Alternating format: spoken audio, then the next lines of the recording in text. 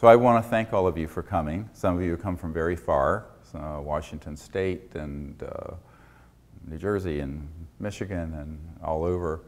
And I want to thank all of you for coming. Uh, the purpose of this meeting is to provide an update, but also a really big overview of the projects we're, we're involved with, particularly dealing with the technology in uh, free energy sector, because there's a lot of misunderstandings in the public on that. And that has been something that we've worked on now for intensely for 15 years. Uh, this will be shared with the public via YouTube and the internet. And the reason for it is that there's a big learning curve to understanding the technology, but more importantly, to understanding the policy issues, the national security issues, um, the details of how you evaluate these technologies, and moving through the minefield of claims that are out there on the internet in particular, which has become a huge problem in the last year for us.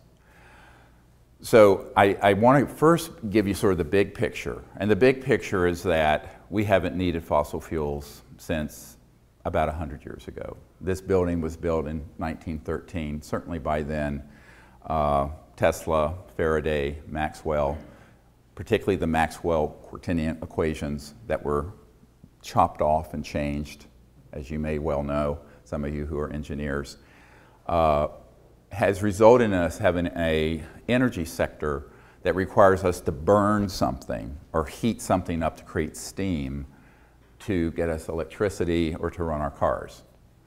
Uh, however, 100 years of really advanced physics, which weren't that well understood 100 years ago in terms of very high voltage systems at certain resonant high hertz, they call it, cycles per second. Uh, we'll get into this later, would result in this excess power and it was observed by Faraday, and it was observed by Tesla, and it was observed by many others, and said, where is this coming from?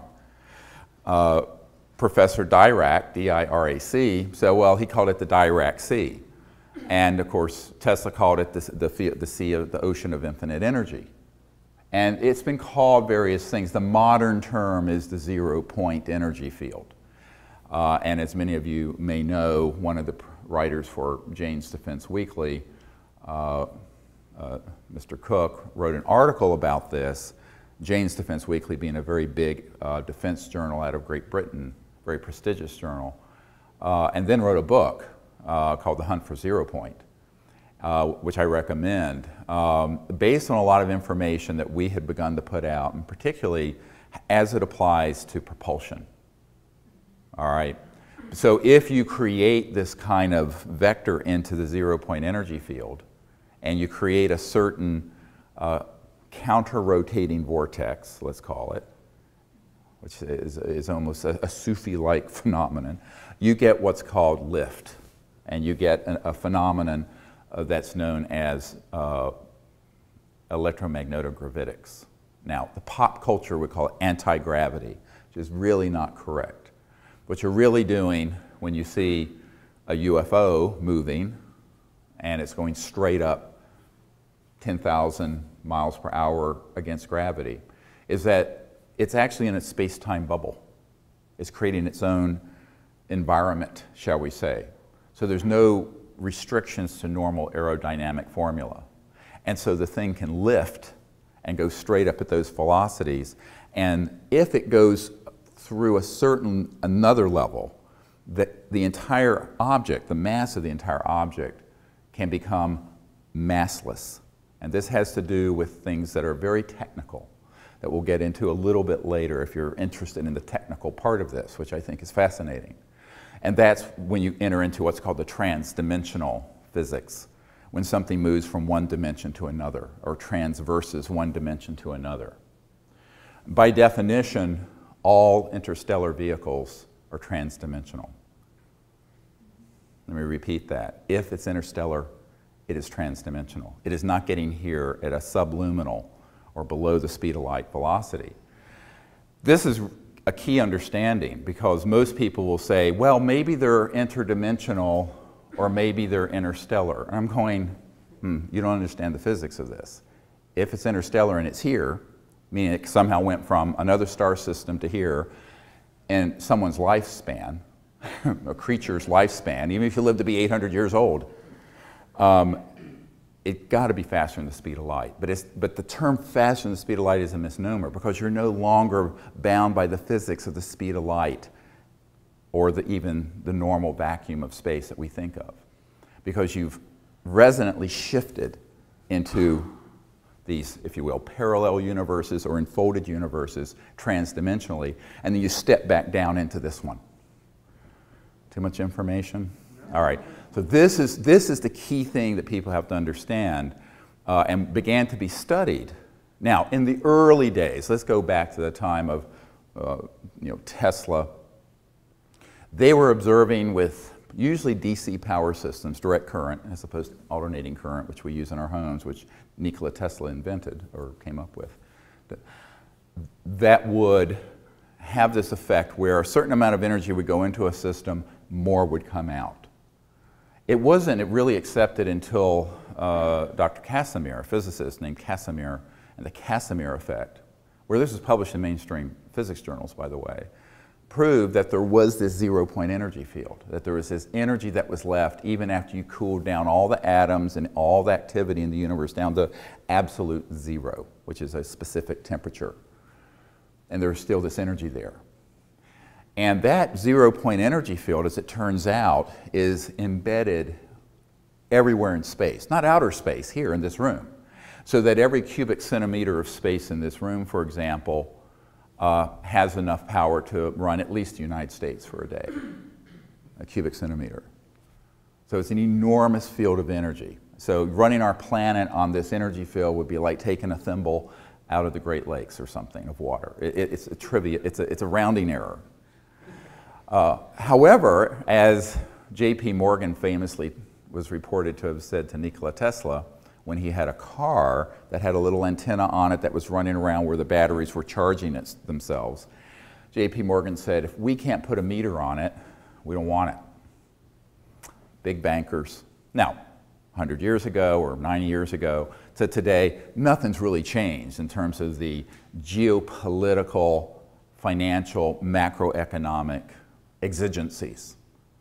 And that's the huge problem. Is there a technical challenge? Yes. And we'll get into how we can, we, can mount a, a sort of effort together to come up with a, a modern day version of, of what Tesla had. But the geopolitical, macroeconomic policy issue is the big problem. And it isn't just because there are a few bankers and kleptocrats that are misanthropic sociopaths, although some of them are. Um, it's because there are a lot of stakeholders who don't want to have to deal with the change. I remember my military advisor once meeting with an admiral who was in charge of CONUS, Continental United States Security, saying, well, this is all wonderful, and I know that those technologies do exist in classified programs. It's too big of a change for me to have to deal with. I just want to see that everything is, stays in sort of a homeostasis. We don't rock the boat too much. And I retire from this command and get to go fishing at my place in Montana. No, really. All right. So, having had dozens and dozens of meetings personally with people like that in the national security structure in Washington, in the United Kingdom, from France, and elsewhere, there is this consistent refrain of this is a great thing, but it's too big of a change. It's too big of a, a, a challenge. And therefore, therefore, if it's that big of a challenge, it's better just to kick the can down the road and let someone else deal with it later. So there's been 100 years of kicking the can down the road. Meanwhile, to give you a very big picture of how much trouble we have at this point, we have a geopolitical order where our national, vital national security interests, which is a mantra here in Washington, is a actual phrase for oil, protecting the oil interest. The uh, madness going on in the Ukraine, Ukraine and Crimea right now is 100% uh, or largely influenced by natural gas and oil politics. Certainly the Middle East, anyone knows that that is. Um, people say, well, there's Israel there. I say, yes, but they have a couple hundred thermonuclear weapons and can take care of them. I know for a fact they do. So the big problem becomes if you have, let's say in 1927 or so. 1927, there were 2 billion people in the world. Now there's 7. So, of those 2 billion people, there were very few people living with cars and electricity in their homes, and et cetera, and so on.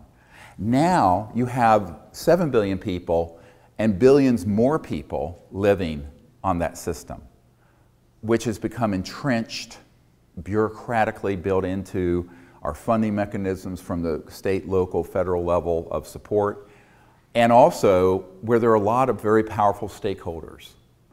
And so, from a rational point of view, you'd say, well, these technologies would get us off of oil, gas, nuclear power, no more Fukushimas. But from the point of view of people who are looking at the national security equation from a macroeconomic stability point of view, this is their worst nightmare. Up the road here, between here and the White House, if you walk straight up the road here, you'll end up at the White House. It's at 1600 Pennsylvania Avenue, and we're on 16th Street.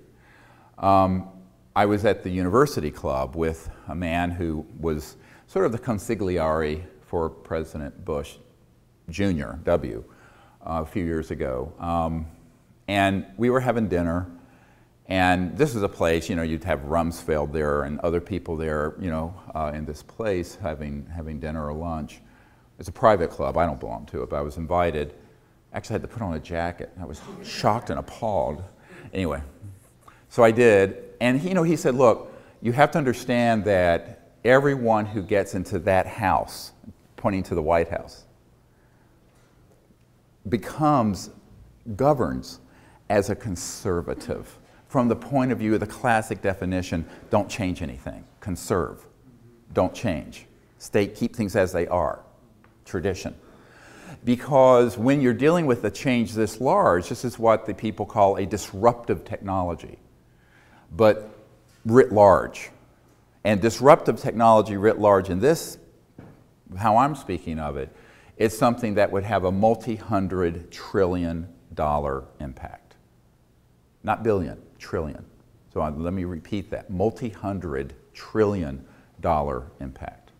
Because once this is disclosed, and this backs into why, quote, UFOs are secret and forbidden to talk about in polite circles, is that a UFO is really just a, a misnomer for an alternative energy and propulsion device.